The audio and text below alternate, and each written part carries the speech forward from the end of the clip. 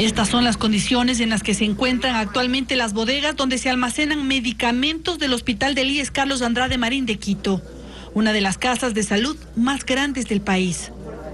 Con nuestra cámara accedimos a varias de ellas, pues hace algunos días el presidente del directorio del IES, Jorge Water, denunció pérdidas de al menos 5.7 millones de medicinas caducadas en ciertas unidades médicas de la institución. Solo en este hospital, el perjuicio ascendería a más de 2 millones y medio de dólares. Al ingresar entendimos por qué miles de medicinas caducaron y muchas otras se echaron a perder.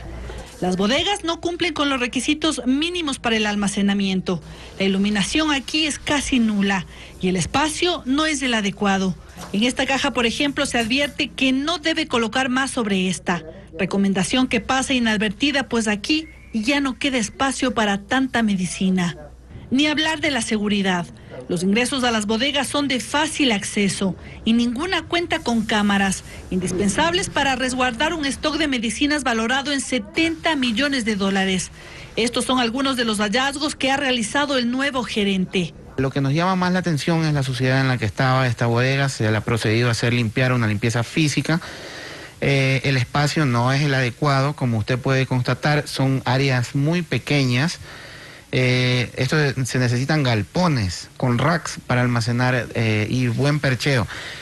Esa puede ser una de las causas por las que se les ha estado caducando también las medicinas. Debe existir primero el sistema de cámaras, un sistema digital para saber quién entra, quién sale, a qué hora y se lo fotografíe, ¿no?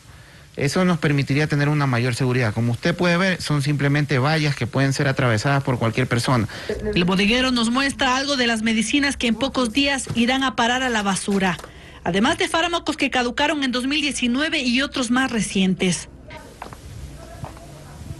Dentro de los medicamentos que se echaron a perder, se encontraron desde paracetamol hasta medicinas como esta que tienen un costo alto y sirven para tratar a pacientes con VIH.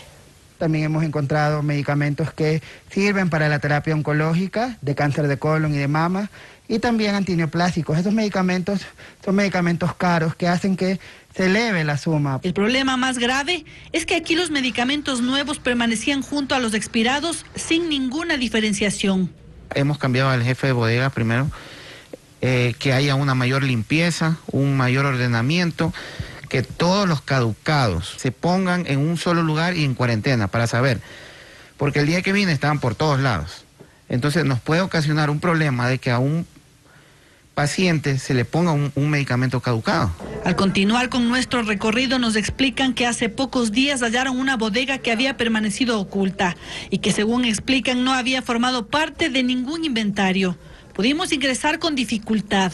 En el interior nos dicen que se guardaban insumos médicos desde hace 11 años. ¿Qué encontramos aquí? Un catéteres. ¿De qué año? Del 2013. Todo esto también tendrá que ser desechado. Así se pierden las medicinas que tanto añoran los pacientes afiliados al IES. Nuestro recorrido tardó más de lo previsto, pues aún quedan varias cosas por contar y lo haremos en una segunda entrega.